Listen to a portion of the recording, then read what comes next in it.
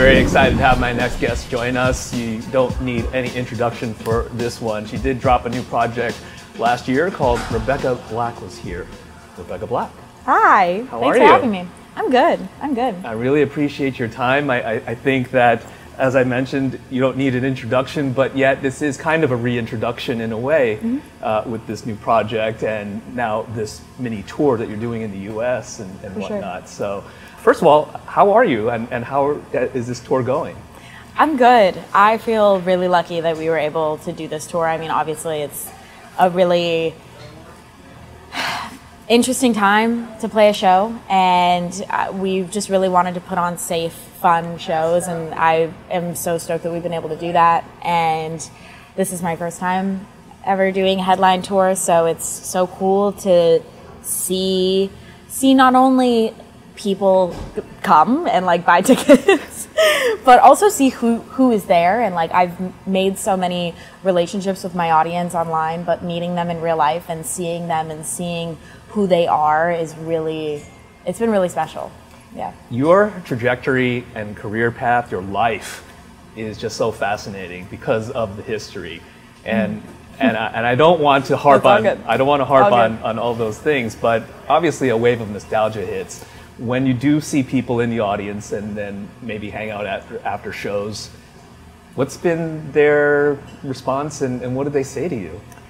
Um, I think people people seem to one be surprised by the the show itself. Um, I mean, this is my first time ever doing this, and I really wanted it to be a show that people would remember. I mean, with pop, I think, especially playing in smaller venues, it can be hard to really bring production and production value, and that's really important. Sorry, that's really important to me.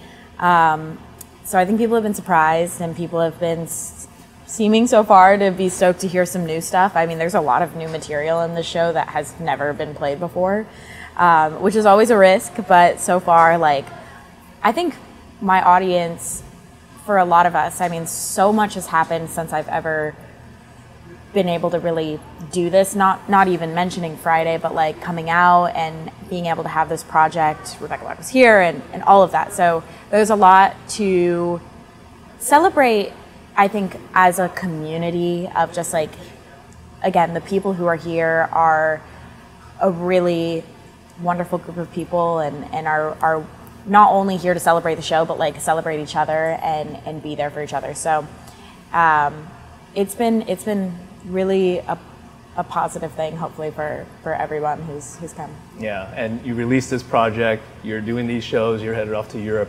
soon as well. Mm-hmm. And I feel like we're again hitting, getting hit with this wave of nostalgia because that lineup for when we were young was released. This alt rock emo festival that's now taking place in Vegas. For sure. Like, I don't know if you've seen the lineup. oh yeah oh yeah who hasn't it's crazy i mean it's fucking insane like it's it's epic um, i i do think that it's we're hitting like an interesting part of the internet where now we've had this collective like internet consciousness for uh, over a decade obviously several decades now and to be able to look back at who we were and what what we thought about things and how we feel differently or feel the same i think is it's interesting to be able for every inter, interesting for everyone to be able to share those in a public space and kind of all collectively like look back at not only what happened but like who we were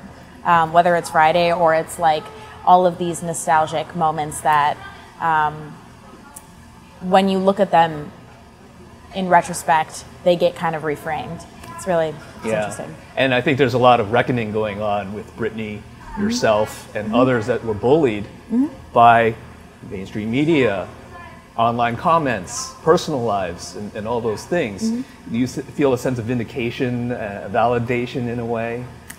Vindication would be an intense word. And maybe I would have hoped that that's what I felt back when I was younger. Is that one day I would like have this set. I know I did. I know I wanted to like prove people wrong when I was younger. But um, I mean, we've changed the way that we talk about things so much over the past 10 years. And I think that is a lot for, for, for the best. And I, when that change of tone started happening around Friday and around my own kind of the way people viewed me. Um, I think there was some some validation in that, um, but it, it, that validation wouldn't have never wouldn't have ever come if I didn't like really put attention on on the way I looked at myself and the way I viewed myself and.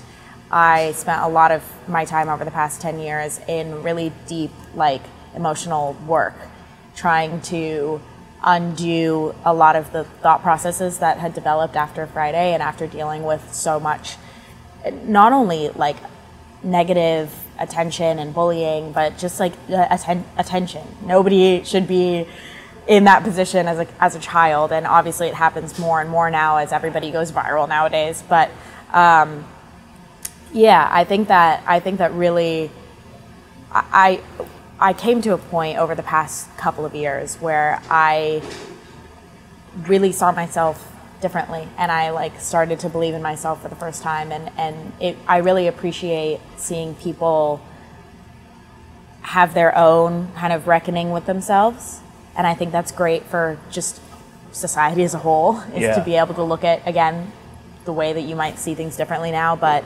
um, yeah, I think that there's still a lot of work to be done. Not not even just in my case, but like at, in the way that we treat women, in the way that we treat children, in the way that we treat literally anybody, because we feel like we have this sense of anon- anonymity online. Has anyone come up to you directly to apologize in, in that sense?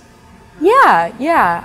Um, I've had a few people either reach out, whether it's in, in person or, or online, and and say that they feel differently or wish that they would have said things differently. And um, I mean, I I get it. Like Yeah. I we all we're all hopefully growing into a better better more cohesive understanding place Right. but the evolution of being a human being, quite frankly, is what it is, right? yeah yeah and, Yeah. and especially in such like a public way that we're all in now Well, obviously, you've done so much. Like I mentioned, you released the collection of material a few years ago. You have this new EP with some bangers Thank uh, you. uh, on there. I love Girlfriend, uh, Personal. I feel like this hyper pop sound is, is fitting of you, but also I feel like you can do more. I'm, I'm going to let you know this from me. I feel like pick up that guitar and belt out these songs acoustic. well you'll have to hear what the new stuff sounds like you know? i don't i don't plan on staying in the same realm forever that's for sure um, What is it about the hyperpop sound? Uh, you know, acts like 100 gecs and, Mm-hmm. and Dorian Electra, you know, Slayyyter to an extent that really appeals to you. I mean, I I love so many different kinds of music, and I'm just a fan of it in general, obviously. But I think with with some of the choices that I've made for myself, um, this project, whether I knew it consciously or not, was really about not only this kind of like reintroduction to myself. Again, I don't think I knew that going into it, um, but looking back, it was a lot of choices made on like, okay, I'm gonna make a pop project, but I wanna make it a pop project that I think is really interesting and takes risks that I feel inclined to make and just follow the, the, the choices that feel the best for the song. And it wasn't about like, I'm gonna make a hyperpop project now, or like I'm gonna become a hyperpop girly, or whatever the everyone wants to call me. It was just finally feeling free enough and and um, in control enough that I could do the things I wanted to do, and then see where that where that ended up. And I think that's what makes Rebecca Black was here is such a like filled with variety project.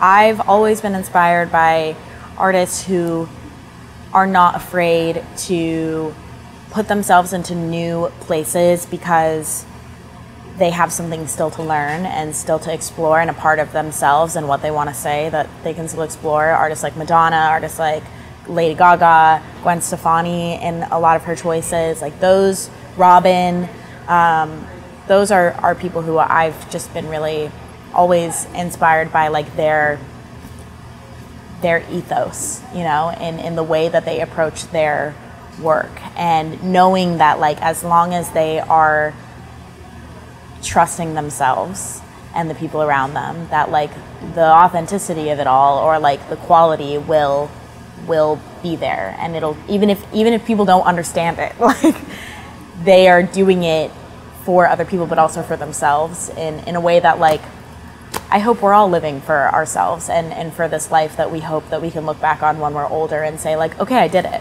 Like I did the, I tried the things I wanted to do. I pushed myself in ways that I feel proud of and um, and a lot of people ask me why I still do this 10 years later and like that's why is because I I would honestly hate myself if I let myself shy away from the life that I wanted to live as a kid. And like that childlike version of myself I think about all the time and like what would she be proud of? So. You are an inspiration. You really are. And uh, like I mentioned earlier you are strong. You are quite the example for how to live a life. Because nothing is guaranteed. Yeah. So do what you want to do. Yeah especially if you have the opportunity to do it. And right. So I feel really grateful and I'm, I'm really really really lucky. Yeah. You, you hinted at it. Should we expect something new uh, a collection of something new in 2022 I sure damn hope so. I think so. Yeah. I, I'm I hate I hate to jinx myself because I've done that many a times, but um, yeah, I've been working really hard on on things I'm really proud of. So new music this year. Okay. Yeah. All right. like I meant, like I said earlier, the guitar. Um, I'm ready for. It's in there. I'm ready for some shredding. It's in there. Some solo. It's in there. I'll tell you, especially in the new stuff. Yeah. Awesome. I don't know if it's what you all expect, but. No, no. So, hey, I'll, I'll, take what great. you give. So. Great. Uh, well, thanks so much for your time. Great to meet you. You too. You too. Thanks for and having me. I look forward to the show tonight. Thank you. Awesome. Thank you. She is uh, Rebecca Black, and you're watching B Sides.